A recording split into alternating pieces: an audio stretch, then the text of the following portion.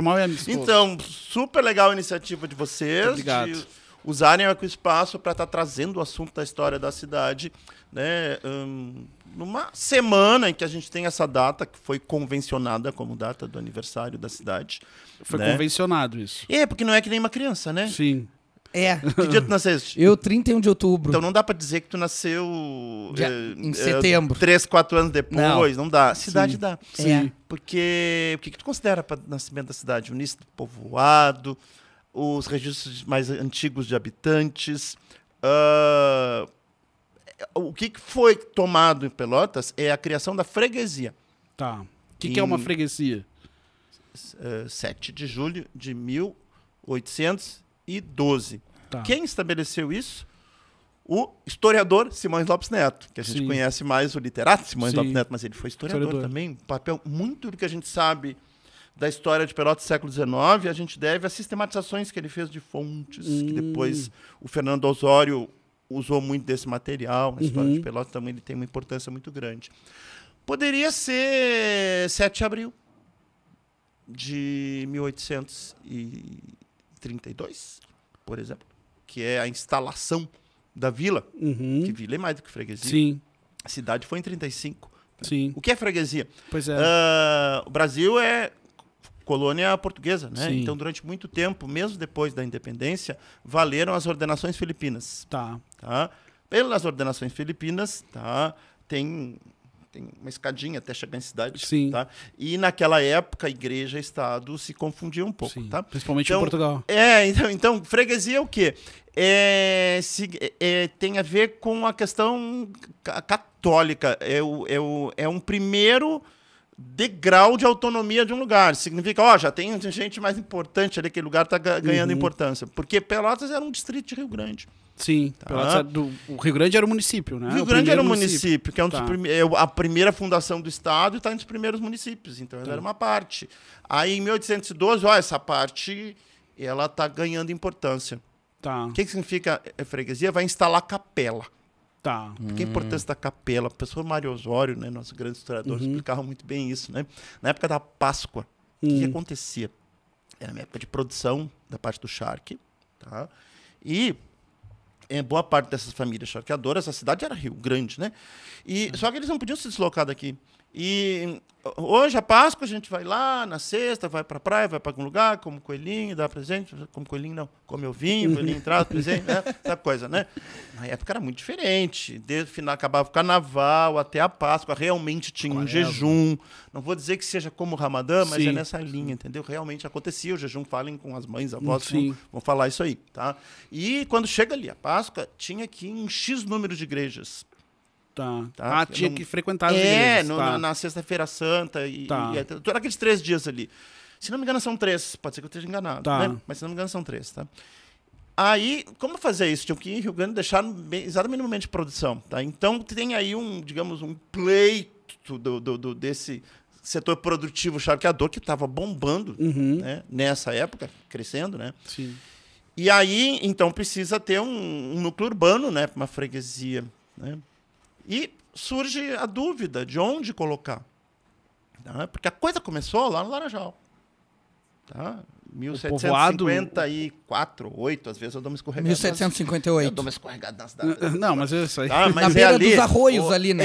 É, exato. Ali ocorre a doação O daquelas Osório, terras. Tomás Luiz Tomás Osório. Luiz Osório, esse aí mesmo. Tá? É a doação dessas terras, aí vem alguns açorianos, tem um arraial ali, o objetivo é produzir trigo. Tá? Depois rola um outro esquema na- nas, nas margens do Pelotas, tá? Tá. que ah, por vocação tinha uma questão de pesca ali.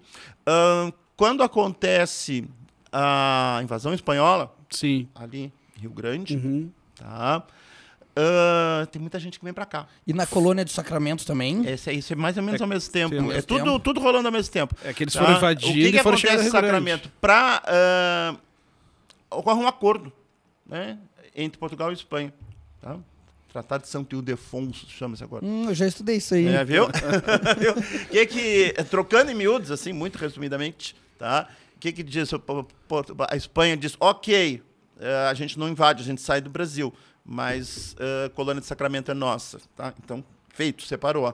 Tá. Tá. Tá? mais ou menos se delimitou a fronteira. Na verdade, é 1801, se não me engano, é que a fronteira ficou bem desenhadinha. Tá? Mas. ah, e- então, imagina lá, hoje é Uruguai, colônia, aquilo era, Era era. Portugal, era, É, colônia- é. Então, muitos vêm de lá para cá. Tá. Então junta gente que veio de Rio Grande para cá, tem os que vêm de lá para cá. Então, ahn, no em torno do arroio começava a ter gente ocupando ali e onde ahn, onde se- se desenvolveu o passo dos negros, Sim. tá? ahn, também tinha povoado ali.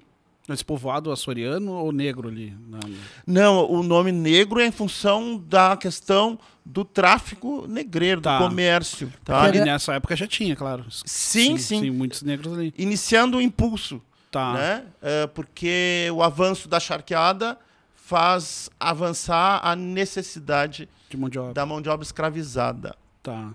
Mas Sempre antes... bom usar o particípio. Escravizado, claro. É, para entender que não são pessoas que naturalmente Sim, são se tornaram, sim, tá? sim, tá. foram Escravizada. escravizadas. É. Tá. Mas Só, antes então- da chegada do charque, então, dos charqueiros, porque também veio uma família lá do Nordeste, né, para produzir Seu charque Pinto aqui. Martins, né? Pinto Martins, esse Mas Ceará. mas antes português, baseado no Ceará, rolou uma seca longa lá, ficou inviável a atividade da carne seca, carne de sol. né? Sim. e ah, ele teria ouvido comentários sobre a existência aqui na região de duas coisas. Primeiro, uma fartura de gado, chamado gado chucro, que é aquilo que sobrou depois que desmantelaram as missões Missões. jesuíticas, tá? que tinham uma atividade eh, de pecuária muito forte. Aí tem aquela questão das guerras guaraníticas, os bandeirantes paulistas vêm para cá, né, raptar os nossos índios para transformá-los em escravizados, né? E, e bem, o resultado é que é um abandono. É, na sequência tem ah, os tratados também, ah, além dessa questão, tem a outra questão, que é Portugal e Espanha versus jesuítas, que começa a entender que os jesuítas estão com o Estado dentro do Estado. Ah, né? é? Então, são proibidas. As, Portugal e Espanha condenam a continuidade missões. das missões jesuíticas, eles têm que se retirar do, E tem uma do- guerra, do tem uma, continente. tem uma revolta, né? Sim, Sim. sim. E então, mistura as duas coisas, tá? Tá. O resultado disso é muito gado, muito gado, muito gado. ninguém Isso determinou matava a nossa mais. história do Rio Grande do Sul de Pelotas. Isso determinou a nossa história, economicamente falando, porque Uhum. era muito, muito gado. Então o cara sabia que tinha muito, muito, muito, muito gado, tá? E outra coisa, ele sabia que aqui perto os uruguaios tinham outro modo de produzir a carne, Carne seca. seca. Por que produzir carne seca? Porque não tinha Porque não geladeira. claro. Falou tudo. Senão a carne apodrece muito rapidamente Sim, sim. e fica inviável o seu consumo. Beleza. 10 essa eu já essa. Ah, eu também meu. tive aula dessa, porra. Tô ligado. Tá, mas aí então já existia. Só de- essa parte eu não. é, a gente fala pouco disso. Hum. Ah, já existia, então, aqui antes das charqueadas, existia um povo, povoado que eram de açorianos, que teriam vindo quando, mais ou menos? Ah, eles ficam vindo entre os 1750 e alguma coisa. Tá. Até o- os 1700, final dos 58. 1770, por Tá. aí. Isso Ficam exi- vindo, tá? Ah, ocorre uma coisa importante, mais uma. É, Quando chega esse acordo aí Portugal e Espanha, Portugal percebe, "Ih, não vai adiantar a gente confiar nesse acordo, a gente vai ter que botar encher de gente isso aí.